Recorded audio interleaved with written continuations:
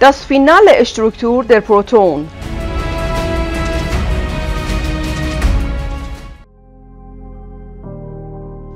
Die Erde besteht aus drei Hauptschichten. Diese sind die Erdkruste, die Mittelschicht, auch Erdfleisch genannt, und der Kern. Eigentlich sollten wir aber von vier Hauptschichten sprechen, wobei diese vierte Schicht für das Leben die entscheidende Schicht ist. Sie wird als Atmosphäre benannt und besteht selber aus mehreren Unterschichten.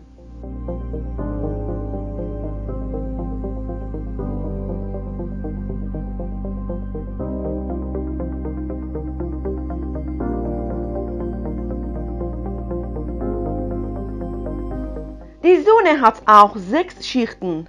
Die mittleren Schichten heißen Kern, Strahlungsbereich, Faltungsbereich und äußere Strahlungsbereich. Der Kern enthält allein ein Achtel der Sonnenrauminhalt und etwa 34% von ihrem Gewicht. Und das Gas, das sie umgibt, hindert ihre Explosion und Vernichtung.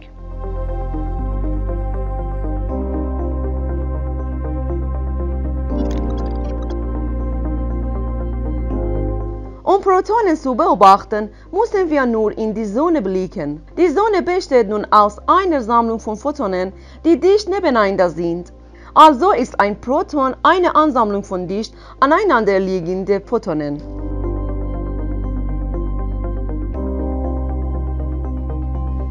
Die Struktur der Protonen kann man analog einer Sauerkische oder der Sonne aus zwei Schichten deuten, dem Kern und dem Fleisch.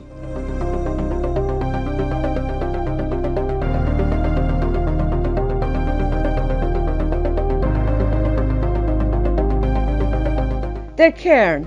Dieses Gebiet ist kugelförmig. Sein Radius ist ungefähr ein Drittel des Gesamtradius des Protons. Seine Dichte ist 15 mal größer als die Mittelschicht bzw. das Fleisch.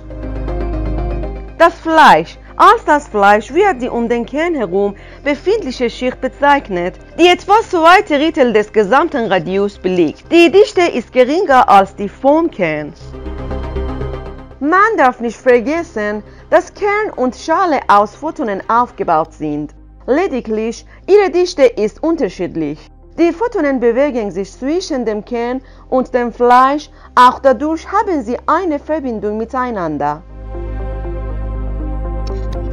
Die wissenschaftlichen Forschungen haben bis jetzt festgestellt, dass Protonen aus zwei Obenquark und einem Unterquark bestehen. Jetzt stellt sich die Frage, wie man die Oben- und Unterquarks mit der Theorie von Salle beschreiben kann.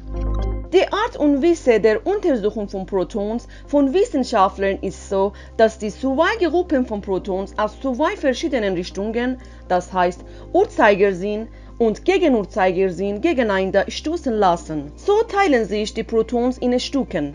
Dann untersuchen sie die so entstandenen Teilchen.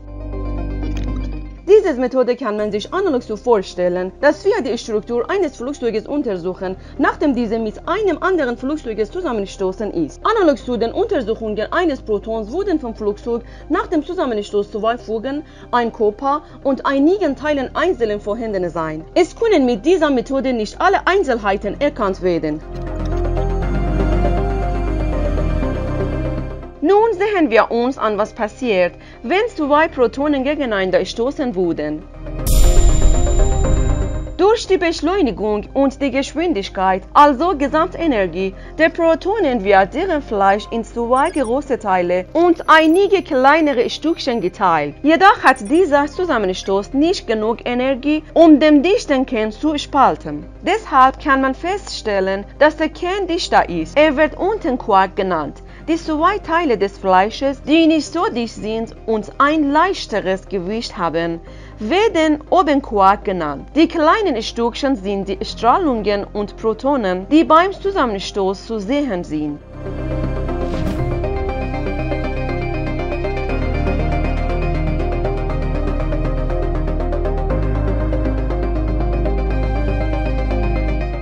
Deshalb meint die Saleh-Theorie, dass ein Proton aus Photonen gebaut ist und es aus zwei Schichten mit unterschiedlicher Dichte besteht. Der Kern ist ungefähr kugelförmig und hat eine große Dichte als das Fleisch, das den ganzen Kern umgibt.